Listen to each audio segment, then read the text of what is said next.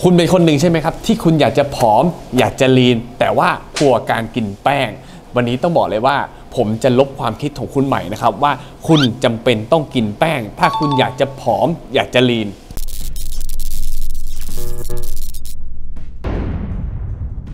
สำหรับหลาย ๆ คนนะครับที่อยากจะลีนอยากจะผอมนะครับเคยได้ยินมาว่าเราเนี่ยไม่ควรทานแป้งนะครับถ้าเกิดว่าเราทานแป้งเนี่ยมันจะทำให้เราเนี่ยอ้วนนะครับผมก็เป็นความเชื่อที่มีทั้งผิด แล้วก็ไม่ผิดนะครับผมมาทำความเข้าใจกันใหม่ดีกว่านะครับ จริงๆแล้วนะครับ ร่างกายของคนเราเนี่ยจำเป็นต้องได้รับแป้งนะครับผมหรือว่าคาร์โบไฮเดรตนั่นเองครับ แต่ว่าได้รับในปริมาณที่เหมาะสมและเหมาะกับเป้าหมายที่เราต้องการนั่นเอง ถ้าเกิดว่าเราไม่ได้รับแป้งนะครับ เราจะเกิดผลเสียอะไรบ้าง เดี๋ยวเรามาดูกันครับ ข้อเสียข้อแรกนะครับคืออัตราการเผาผลาญพังนั่นเองครับ เนื่องจากว่าเราเองเนี่ยได้รับสารอาหารของเราเนี่ยน้อยอยู่แล้วนะครับ โดยเฉพาะคาร์โบไฮเดรตเนี่ยบางคนนะครับเรากินคาร์โบไฮเดรตเนี่ยแค่หย่อมหนึ่งต่อมื้อหนึ่งนะครับหรือว่าอาจจะไม่ถึงกำมือหนึ่งต่อหนึ่งมื้อแบบนี้ครับแล้วน้ำหนักของคุณนะครับก็ยังไม่ลงไขมันของคุณยังไม่ลงสักทีนะครับเนื่องจากว่าเราไม่มีสัดส่วนอาหารตรงไหนให้เราไปลดอีกนะครับลดจากโปรตีนบางทีโปรตีนก็น้อยอยู่แล้ว ลดจากไขมันเฮ้ยฉันก็ไม่ได้กินนี่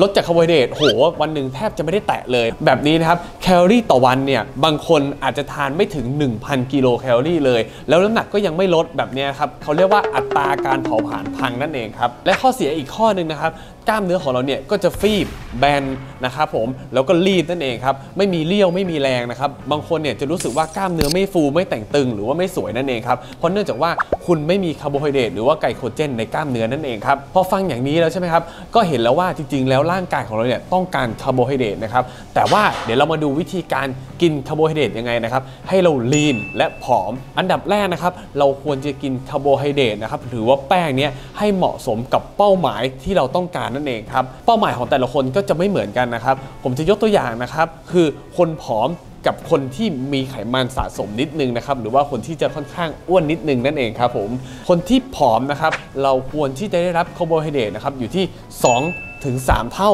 ของน้ำหนักตัวนั่นเองครับ ส่วนคนที่มีไขมันสะสมอยู่นิดหน่อยนะครับหรือว่าคิดว่าตัวเองเนี่ยเป็นคนที่เจ้าเนื้อนะครับเราควรที่จะกินคาร์โบไฮเดรตนะครับอยู่ที่ 2 เท่าของน้ำหนักตัวก็เพียงพอแล้วนะครับยกตัวอย่างเช่นผมนะครับน้ำหนัก 80 กิโลกรัมนะครับอย่างน้อยๆนะครับผมต้องการคาร์โบไฮเดรตอยู่ที่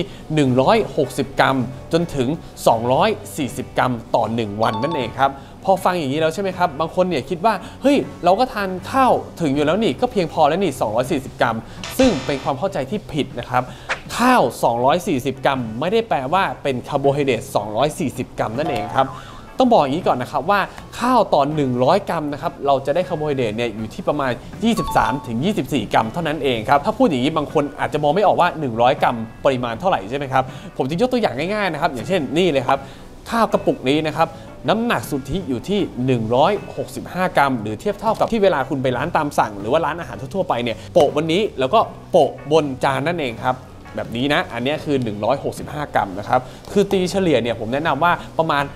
150 กรัมก็ได้ครับ ใน 150 กรัมนนี้นะครับ จะมีคาร์โบไฮเดรตอยู่ที่ 38 กรัมนั่นเองครับ พอแยกกันอย่างนี้นะครับว่าน้ำหนักของข้าวกับคาร์โบไฮเดรตไม่เหมือนกันนะครับ อะเดี๋ยวผมจะยกตัวอย่างอย่างอื่นนะครับอะเดี๋ยวเรามาดูนี่เลยครับ อย่างข้าวกล้องนะครับ อันเนี้ยน้ำหนักนะครับจะอยู่ที่ 150 กรัมสุทธินะครับ จะมีคาร์โบไฮเดรตอยู่ที่ 38 กรัมนั่นเองครับ กล้วยนะครับ กล้วยที่หาซื้อตามร้านสะดวกซื้อนะครับ อันนี้นะครับน้ำหนักนะครับจะอยู่ที่ 150 กรัมนะครับ จะเป็นคาร์โบไฮเดรตนะครับอยู่ที่ 34 กรัมนั่นเองครับ ส่วนอันนี้นะครับฟักทองนะครับ อันนี้นะครับก็จะเป็นฟักทองนะครับ โดยหักบรรจุภัณฑ์นะครับ จะเหลือประมาณ 180 กรัมนะครับ ที่เป็นน้ำหนักนะครับ จะมีคาร์โบไฮเดรตอยู่ที่ 12.6 กรัมนั่นเองครับ อันเนี้ยนะครับขนมปังโฮลวีตนะครับที่หาตามร้านสะดวกซื้อนะครับ ตอน 1 แผ่นเนี่ยเราจะได้คาร์โบไฮเดรตอยู่ที่ 11 กรัมนั่นเองครับ พอเรารู้แล้วนะครับว่าคาร์โบไฮเดรตแต่ละอย่างนะครับ จะมีน้ำหนักที่ไม่เหมือนกันนะครับ แล้วก็มีสัดส่วนของคาร์โบไฮเดรตที่ไม่เหมือนกัน เพราะฉะนั้นนะครับร่างกายของผมนะครับ จะรวบรวมอะไรก็ได้นะครับ ให้ครบ 160 กรัม จนถึง 240 กรัม ที่เป็นคาร์โบไฮเดรตนะครับผมถ้าเรากินเกินปริมาณคาร์โบไฮเดรตที่เราต้องการต่อวันเราก็จะอ้วนนั่นเองครับ ซึ่งบางคนนะครับน้ำหนักเพียงแค่ 50 กิโลกรัมแค่นั้นเอง ทั้งวันเนี่ยเราจะต้องได้รับคาร์โบไฮเดรตนะครับอย่างน้อย 100 กรัมจนถึง 150 กรัมเท่านั้นเองครับ แต่ดันกินชานมไข่มุก น้ำหวานก๋วยเตี๋ยว ข้าว 2 ถ้วย รวมกันแล้วเนี่ยอาจจะเกิน 300 กรัม แบบนี้ก็จะมีโอกาสที่จะสะสมไขมันได้สูง เราลองคำนวณดูนะครับว่าเราเองเนี่ยจะต้องการคาร์โบไฮเดรตต่อ1วันเท่าไหร่นะครับข้อที่2นะครับเราควรที่จะกินคาร์โบไฮเดรตให้ถูกประเภทนั่นเองครับ แป้งนะครับก็จะมีอยู่ 2 ประเภทใหญ่ๆนะครับ คือคาร์โบไฮเดรตเชิงซ้อน แล้วก็คาร์โบไฮเดรตเชิงเดี่ยวนะครับ คาร์โบไฮเดรตเชิงซ้อนนะครับ ก็คือคาร์โบไฮเดรตที่ไม่ผ่านกระบวนการขัดสีนั่นเองครับหรือมาแบบธรรมชาตินั่นเองครับก็จะมีไฟเบอร์สูง ดูดซึมช้า ย่อยช้า แล้วก็ปล่อยพลังงานให้กับร่างกายเราอย่างช้าๆ กินแบบนี้นะครับก็จะไม่ค่อยอ้วนนั่นเองครับและอีกแบบนึงนะครับคือคาร์โบไฮเดรตเชิงเดี่ยวครับคาร์โบไฮเดรตเชิงเดี่ยวนะครับคือผ่านกระบวนการขัดสีหรือว่าแปรรูปมาแล้วนั่นเองครับก็จะมีไฟเบอร์นะครับค่อนข้างที่จะน้อยมากๆนะครับดูดซึมเร็ว ปล่อยพลังงานเร็ว และจะทำให้ร่างกายของเรานะครับสะสมไขมันได้ค่อนข้างง่าย และเร็วมากขึ้นนั่นเองครับเพราะฉะนั้นนะครับเราควรที่จะเลือกกินคาร์โบไฮเดรตเชิงซ้อนมากกว่าคาร์โบไฮเดรตเชิงเดี่ยวนั่นเองครับเดี๋ยวเรามาดูกันดีกว่าครับว่าคาร์โบไฮเดรตเชิงซ้อนมีอะไรกันบ้างนะครับผมจะยกตัวอย่างง่ายๆนะครับอย่างเช่น ขนมปังโฮลวีตข้าวกล้องข้าวโอ๊ตนะครับผมธัญพืชต่างๆนะครับ แล้วก็จะเป็นพวกแบบกล้วยอย่างนี้ครับผักนะครับ มันเทศ ฟักทอง อย่างนี้นะครับผมอ่าอันนี้เป็นการยกตัวอย่างง่ายๆนะครับหรือลองสังเกตดูก็ได้ครับว่าอาหารที่มาจากธรรมชาตินั่นเองครับส่วนคาร์โบไฮเดรตเชิงเดี่ยวนะครับก็นี่เลยครับ